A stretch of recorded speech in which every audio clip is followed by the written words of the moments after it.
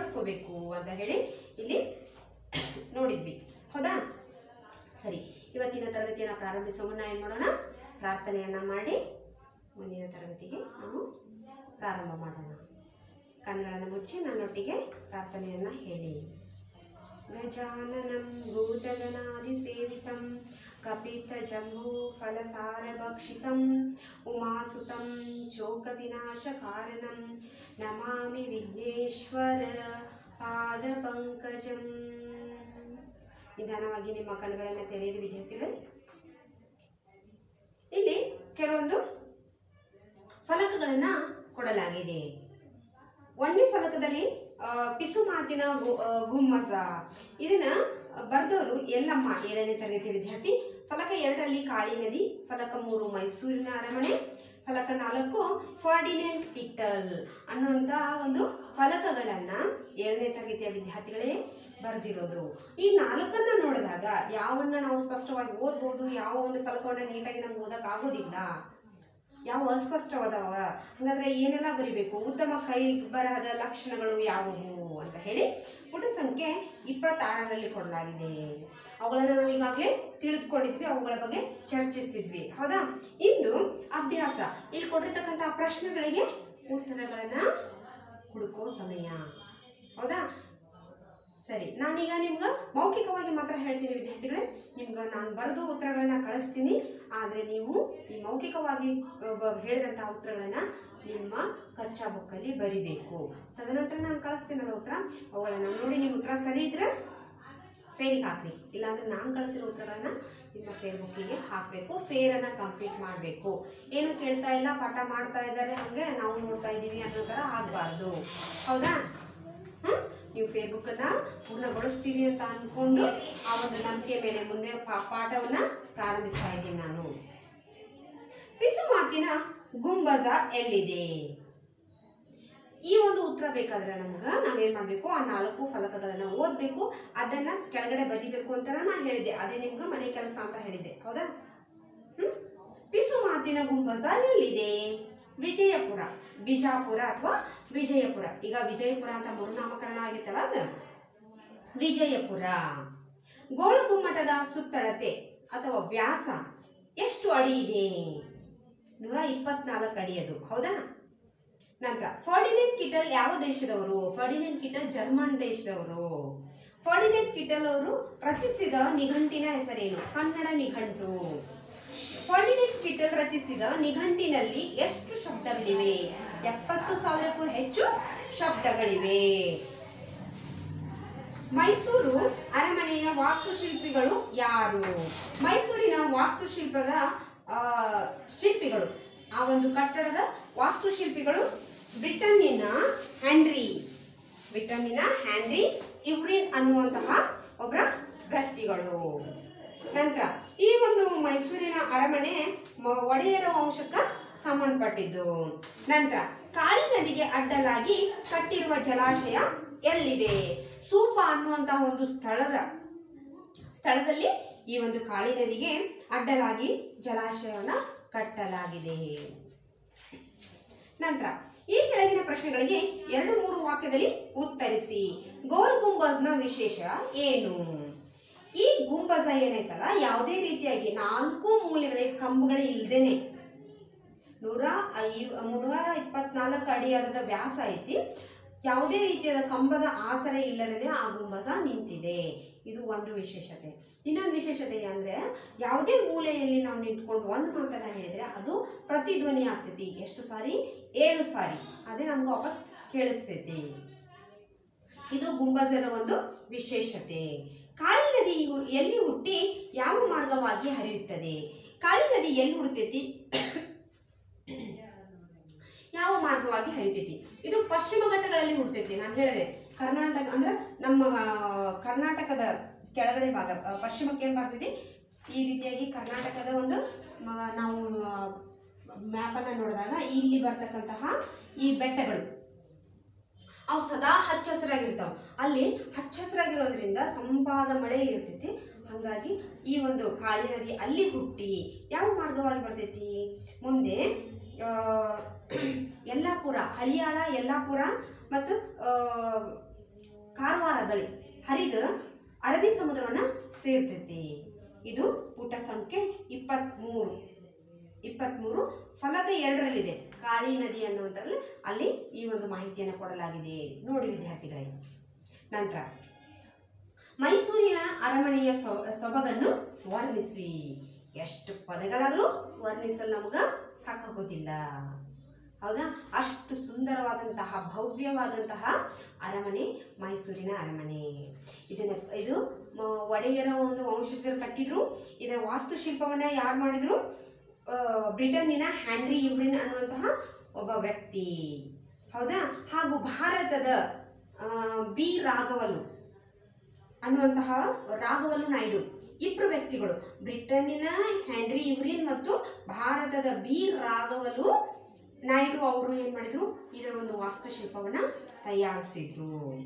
ಹಾಗೆ ಇಲ್ಲಿ ರಾತ್ರಿ ವೇಳೆ ದೀಪದ ಅಲಂಕಾರ ಇರ್ತೈತಿ. ದೀಪದ ಅಲಂಕಾರ ಆ ಅಲಂಕಾರಗೊಂಡಾಗ ಆ ಅರಮನೆಯನ್ನು ನೋಡಲು ನಮ್ಮ ಎರಡು ಕಣ್ಣುಗಳು ಸಾಕಾಗೋದಿಲ್ಲ. ಅಷ್ಟು ಸುಂದರವಾದಂತಹ, ವೈಭವಯುತವಾದಂತಹ ಅರಮನೆ, ಮೈಸೂರಿನ ಅರಮನೆ. ಫಾರ್ಡಿನೆಂಟ್ ಕಿಟಲ್ ಭಾರತಕ್ಕೆ ಬಂದು ಮಾಡಿದ ಕೆಲಸವೇನು? ಫಾರ್ಡಿನೆಂಟ್ ಕಿಟಲ್ರು ಭಾರತಕ್ಕೆ ಬಂದು ಭಾರತಕ್ಕೆ ಬಂದು ಮೊದಲು ಕನ್ನಡವನ್ನ ಕಲಿತರು. ಕನ್ನಡವನ್ನ ಕಲಿತು ಕನ್ನಡ ಭಾಷೆಯೊಳಗೆ ನಿಘಂಟನ್ನ ರಚನೆ ಮಾಡಿ ಆ ನಿಘಂಟನ್ನ ಕನ್ನಡ ಪಂಡಿತರ ಎದುರಿಗೆ ಇಟ್ಟು ಪರಿಷ್ಕರಣೆಗೊಳ್ಳಲು ಏನ್ ಮಾಡಿದ್ರು? ಅವ್ರ ಎದುರಿಗೆ ಇಟ್ಟರು ಪರಿಷ್ಕರಣೆ ಅಂತಂದ್ರೆ ತಿದ್ದುಪಡಿ? ಈ ಒಂದು ನಿಘಂಟಿನಲ್ಲಿ ಎಪ್ಪತ್ತು ಸಾವಿರ ಪದಗಳಿದಾವೆ. ಎಪ್ಪತ್ತು ಸಾವಿರ ಪದಗಳದವ. ಇವುಗಳನ್ನು ಅವರು ಮೊದಲ ಆ ಭಾಷೆ ಮೇಲೆ ತನ್ನ ಹಿಡಿತವನ್ನು ಸಾಧಿಸಿ, ಅದನಂತರ ಅವಳ ಅರ್ಥಗಳನ್ನು ವಿಶ್ಲೇಷಿಸಿ ನಿಘಂಟನ್ನ ತಯಾರಿಸಿದರು. ನಂತರ ಕೆಳಗಿನ ಪ್ರಶ್ನೆಗೆ ಎಂಟು ಮತ್ತು ಹತ್ತು ವಾಕ್ಯದಲ್ಲಿ ಉತ್ತರಿಸಿ. ಉತ್ತಮ ಕೈಬರಹದ ಲಕ್ಷಣಗಳನ್ನು ಪಟ್ಟಿ ಮಾಡಿ. ಇಲ್ಲಿ ಪುಟ ಸಂಖ್ಯೆ ಇಪ್ಪತ್ತಾರನ್ನು ನೋಡಿ ವಿದ್ಯಾರ್ಥಿಗಳೇ, ಉತ್ತಮ ಕೈಬರಹದ ಲಕ್ಷಣಗಳು ಅಂತ ಇದೆ. ಅದನ್ನ ಲಕ್ಷಣಗಳನ್ನು ಓದಿ ಕಲಿತುಕೊಳ್ಳಿರಿ ಇದೆಯಲ್ಲ ಉತ್ತಮ ಕೈಬರಹದ ಲಕ್ಷಣಗಳು ಅಂತ ಬರೆದು ಒಂಬತ್ತು ಕೈಬರಹದ ಲಕ್ಷಣಗಳನ್ನು ಏನು ಮಾಡಬೇಕು? ಬರಿಬೇಕು ಆ ಒಂದು ಪ್ರಶ್ನೆಗೆ. ನಂತರ, ಭಾಷಾಭ್ಯಾಸಗಳು. ನಿಘಂಟಿನ ಸಹಾಯದಿಂದ ಈ ಪದಗಳಿಗೆ ಅರ್ಥ ಬರೆಯಿರಿ. ನಿಘಂಟು ಅಂತ ಹೇಳಿದ್ರೆ ಡಿಕ್ಷನರಿ ಅಂತ ಏನು ಹೇಳ್ತೀವಿ? ಅದು ಅದಕ್ಕೆ ಕನ್ನಡದಲ್ಲಿ ನಿಘಂಟು ಅಂತ ಹೇಳ್ತಾರ. ಹಾಗಾದ್ರೆ ಸೌದ, ಒಂದೇದು ಸೌದ ಅಂತಿದೆ. ಅದರ ಅರ್ಥ ಭವ್ಯವಾದ ಕಟ್ಟಡ, ಭವ್ಯ ಕಟ್ಟಡ.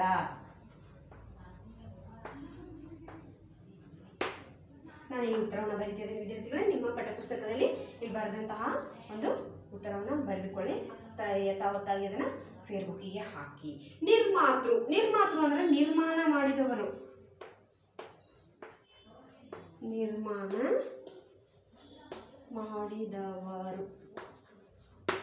ಅಥವಾ ಅದನ್ನ ಸೃಷ್ಟಿ ಮಾಡಿದವರು. ಹಸ್ತಪ್ರತಿ, ಕೈ ಬರಹ.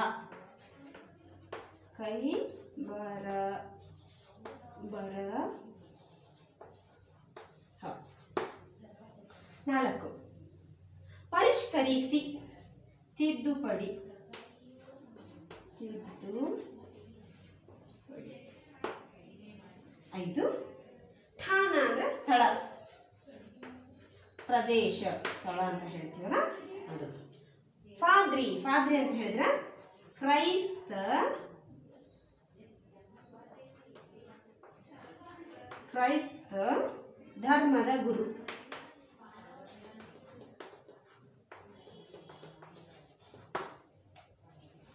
ಕ್ರೈಸ್ತ ಧರ್ಮದ ಗುರು ಅಥವಾ ಸನ್ಯಾಸಿ. ಅವುಗಳನ್ನ ಏನಂತ ಹೇಳ್ತೀವಿ? ಫಾದ್ರಿಗಳು ಅಂತ ಹೇಳ್ತೀವಿ. ಆ ಒಂದು ಚರ್ಚಿನ ಮುಖ್ಯಾಧ್ಯಕ್ಷ ಮುಖ್ಯಾಧ್ಯಕ್ಷ ಅವರಾಗಿರ್ತಾರ. ಮುಖ್ಯಾಧ್ಯಕ್ಷ. ಹೌದಾ? ನಂತರ, ಈ ಕೆಳಗಿನ ಪದಗಳನ್ನು ಸ್ವಂತ ವಾಕ್ಯದಲ್ಲಿ ಬಳಸಿ ಬರೆಯಿರಿ. ಕಂಗೊಳಿಸು. ಕಂಗೊಳಿಸು.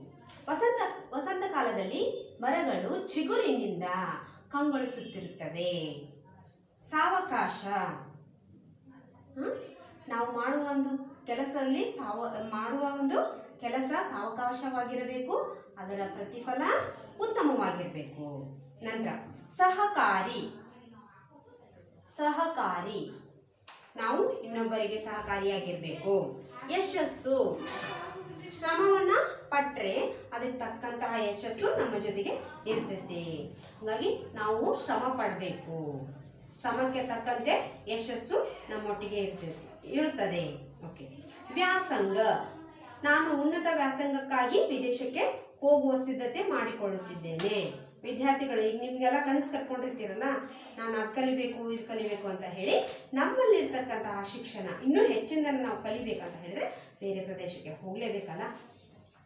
ವ್ಯಾಸಂಗ. ಕೆಳಗೆ ನೀಡಿರುವ ವಾಕ್ಯದಲ್ಲಿನ ಪದಗಳನ್ನು ಸರಿಯಾಗಿ ಜೋಡಿಸಿ ಅರ್ಥಪೂರ್ಣ ವಾಕ್ಯ ಅರ್ಥಪೂರ್ಣ ವಾಕ್ಯವಾಗಿ ಬದಲಿಸಿ ಬರೆಯಿರಿ. ಇದು ಬರ್ದಾಯ್ತಾ ಓಕೆ ಕಂಗೊಳಿಸುತ್ತಿದೆ ರಾತ್ರಿ ವೇಳೆ ರಾತ್ರಿ ಅರಮನೆ ವಿದ್ಯುತ್ ದೀಪಗಳಿಂದ ಮೈಸೂರು. ಏನಾಗ್ಬೇಕಿದು? ಹ್ಮ್? ಏನಾಗ್ಬೇಕಿದು? ಕಂಗೊಳಿಸುತ್ತಿದೆ ಮೈಸೂರು. ಹ? ರಾತ್ರಿ ವೇಳೆ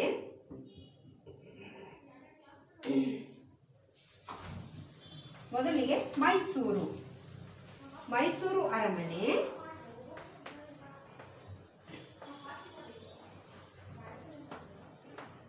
ಮೈಸೂರು ಅರಮನೆ ರಾತ್ರಿ ವೇಳೆ ವಿದ್ಯುತ್ ದೀಪಗಳಿಂದ ವಿದ್ಯುತ್ ವಿದ್ಯುತ್ ದೀಪಗಳಿಂದ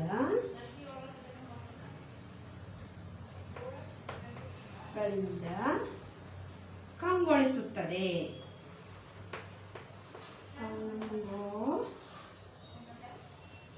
ಕಂಗೊಳಿಸು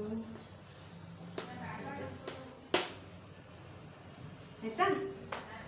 ಎರಡನೇದು. ನಿಘಂಟಿನ ಪ್ರಕಟಿಸಲಾಗಿತ್ತು ಹಸ್ತಪ್ರತಿಯನ್ನು ಪಂಡಿತರು ಪಂಡಿತರ ಪರಿಷ್ಕರಿಸಿ ನೆರವಿನಿಂದ. ಪಂಡಿತರ ಪಂಡಿತರ ನೆರವಿನಿಂದ ನೆರವಿನಿಂದ ನಿಘಂಟಿನ ಪಂಡಿತರ ನೆರವಿನಿಂದ ಪರಿಷ್ಕರಿಸಿ ಪರಿಷ್ಕರಿಸಿ ಪರಿಷ್ಕರಿಸಿ ನಿಘಂಟಿನ ಹಸ್ತಪ್ರತಿಗಳನ್ನು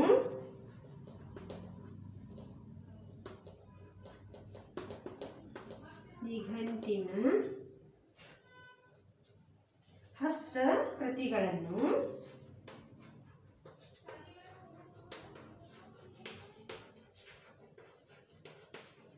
ಪ್ರಕಟಿಸಲಾಯಿತು.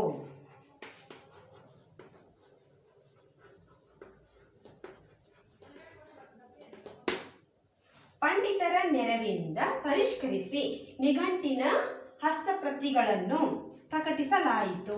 ಮೈಸೂರು ಅರಮನೆ ರಾತ್ರಿ ವೇಳೆ ವಿದ್ಯುತ್ ದೀಪ, ವಿದ್ಯುತ್ ದೀಪಗಳಿಂದ ಕಂಗೊಳಿಸುತ್ತದೆ. ಮೂರನೇದು, ತಾನ ಕನ್ನಡ ಹಲವು ನಾಡು ನದಿಗಳು. ಏನಿದು? ಕನ್ನಡ ನಾಡು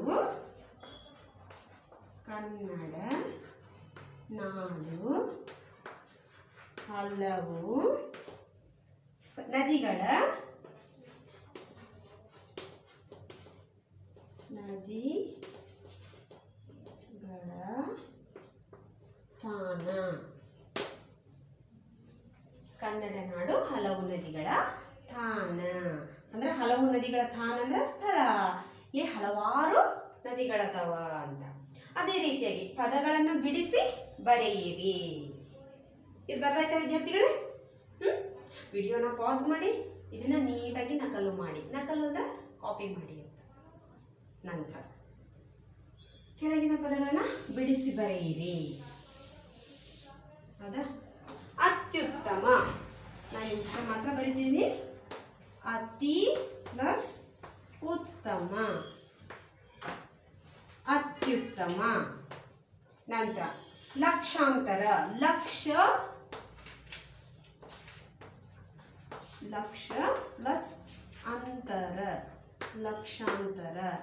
ನಂತರ ವಿದ್ಯುತ್ ದೀಪ ವಿದ್ಯುತ್ ದೀಪ. ವಿದ್ಯುತ್ ದೀಪ ವಿದ್ಯುತ್ ದೀಪ. ನಾನು ಗೋಲಾಕಾರ. ಗೋಲ ಪ್ಲಸ್ ಆಕಾರ. ಗೋಲ ಪ್ಲಸ್ ಆಕಾರ. ಆಕಾರ, ಗೋಲಾಕಾರ. ಇಲ್ಲಿ ಅಕಾರ, ಆಕಾರವಾಗಿ ಬಳಸ್ತೀವಿ ನಾವು. ಗೋಲಾಕಾರ. ಗೋಲ ಆಕಾರ, ಗೋಲಾಕಾರ.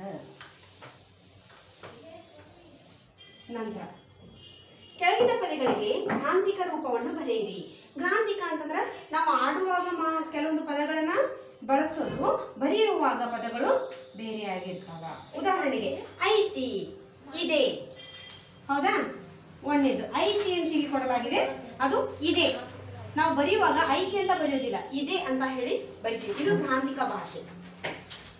ಬಾಳ, ಬಹಳ. ಎರಡು, ಮೂರು. ಗ್ವಾಡಿ ಅಂದ್ರೆ ಗೋಡೆ. ಗೋಡೆ. ಹೌದಾ? ನಾಲ್ಕು. ಮ್ಯಾಲ, ಮೇಲೆ. ಐದು. ಇದಕ್ಕ ಅಂದ್ರೆ ಇದಕ್ಕೆ. ಇದಕ್ಕ, ಇದಕ್ಕೆ. ಇಲ್ಲಿ ಇದಕ್ಕೆ ಅಂತ ಬರಿಬೇಕು. ನಾವು ಆಡು ಭಾಷೆಯಲ್ಲಿ ಇದಕ್ಕ ಅಂತ ಹೇಳಿದ್ರು, ಬರೆಯುವಾಗ ಏನ್ ಮಾಡ್ತೀವಿ? ಇದಕ್ಕೆ. ಬಂದೈತಿ. ಆರು, ಬಂದೈತಿ ಅಂತ ಹೇಳಿದ್ರೆ ಬಂದಿದೆ. ಬಂದಿದೆ. ಹೌದಾ? ನೋಡ್ರಿ, ಮಾತನಾಡೋ ಭಾಷೆಗೂ ಹಾಗೂ ಗ್ರಾಂಥಿಕ ಭಾಷೆಗೂ ಎಷ್ಟು ವ್ಯತ್ಯಾಸವಿದೆ. ಒಳಗ ಅಂದ್ರೆ? ಒಳಗೆ ಎಂಟು. ಕೇಳಿಸ್ತೈತಿ ಕೇಳಿಸುತ್ತಿದೆ. ಕೇಳಿಸುತ್ತಿದೆ. ಸರಿ ಇವುಗಳನ್ನ ಬರೆಯಿರಿ ವಿದ್ಯಾರ್ಥಿಗಳೇ. ಅದೇ ರೀತಿಯಾಗಿ ನಿಮ್ಮ ಫೇಸ್ಬುಕ್ಕನ್ನು ಕಂಪ್ಲೀಟ್ ಮಾಡಬೇಕು. ಪ್ರಶ್ನೋತ್ತರಗಳನ್ನು ನಾನು ಕಳಿಸ್ತೇನೆ. ಆದರೆ ನೀವು ಬರೆಯುವ ಒಂದು ರೂಢಿಯನ್ನು ಹಾಕ್ಕೊಳ್ಳೇಬೇಕು ಹೌದಾ? ಬರಿತೀರಲ್ಲ? ಉತ್ತಮ ಕೈ ಬರಹದ ಲಕ್ಷಣಗಳು. ಅವುಗಳನ್ನ ನೀವು ಫೇರಿಗೆ ಹಾಕ್ರಿ. ಆಮೇಲೆ ಆಮೇಲೆ ಭಾಷಾಭ್ಯಾಸ ಸ್ವಂತ ವಾಕ್ಯದಲ್ಲಿ ಬಳಸಿ, ಆಮೇಲೆ ನಿಘಂಟಿನ ಸಹಾಯದಿಂದ ನಾನು ಅರ್ಥಗಳನ್ನು ಬರೆದಿದ್ದೆ. ಅದನ್ನು ನೋಡಿ ನೀಟಾಗಿ ನಕಲು ಮಾಡಿ, ಅದೇ ರೀತಿಯಾಗಿ ಪದಗಳನ್ನು ಸರಿಯಾಗಿ ಜೋಡಿಸಿ, ಮತ್ತು ಪದಗಳನ್ನು ಬಿಡಿಸಿ ಬರೆಯಿರಿ. ಮತ್ತೆ ಗ್ರಾಂಥಿಕ ರೂಪವನ್ನು ಬರೆಯಿರಿ. ಕೊನೆಯದಾಗಿ ಮಹಾತ್ಮ ಗಾಂಧೀಜಿಯವರು ಹ್ಯಾಂಡ್ ರೈಟಿಂಗ್ ಅಂದ್ರೆ ಕೈ ಬರಹದ ಬಗ್ಗೆ ಒಂದು ಮುಖ್ಯವಾದ ಮಾತನ್ನ ಹೇಳಿದರು. ಅದು ಏನಪ್ಪಾ ಅಂದ್ರೆ, ಕೆಟ್ಟ ಅಕ್ಷರದ ಬರವಣಿಗೆ ಅಪಕ್ವ ಮತ್ತು ಅಪೂರ್ಣ ಶಿಕ್ಷಣದ ಚಿಹ್ನೆ ಅಂತ. ಯಾರ ಅಕ್ಷರ ನೀಟ್ ಆಗ್ತಿರಂಗಿಲ್ಲ ಅವರಿಗೆ ಪೂರ್ಣವಾದಂತಹ ಶಿಕ್ಷಣ ಇರೋದಿಲ್ಲ. ಅಪಕ್ವ, ಪಕ್ವ ಅಂತಂದ್ರೆ ಪರಿಪೂರ್ಣವಾದದ್ದು, ಅಪಕ್ವ ಅಂತ ಹೇಳಿದ್ರೆ ಪೂರ್ಣ ಆಗದೆ ಇರೋದು ಇನ್ಕಂಪ್ಲೀಟ್ ಅಂತ ಹೇಳ್ತೀವಲ್ಲ, ಅದು. ಸೊ ಕರೆಕ್ಟಾಗಿ ನಾವು ಕಲಿತ್ರೆ ಮಾತ್ರ ನಮ್ಮ ಅಕ್ಷರಗಳು ನೀಟಾಗಿ ಕಾಣಿಸ್ತಾವ. ಹೌದಾ? ಅದಕ್ಕಾಗಿ ಆ ನಿಯಮಗಳನ್ನು ತಿಳಿದು ನಾವು ನಡೆದ್ರೆ ನಮ್ಮ ಅಕ್ಷರಗಳು ಸಹ ಪೂರ್ಣ ಪರಿಪಕ್ವವಾಗ್ತವ. ನಮ್ಮ ಶಿಕ್ಷಣ ಸಹ ಪರಿಪೂರ್ಣವಾಗ್ತದೆ. ಸರಿ. ಮತ್ತೊಂದು ಪಾಠದೊಂದಿಗೆ ಮುಂದಿನ ತರಗತಿಯಲ್ಲಿ ಮತ್ತೆ ಸಿಗೋಣ ವಿದ್ಯಾರ್ಥಿಗಳೇ. ಅಲ್ಲಿಯವರೆಗೂ ಶುಭ ದಿನ.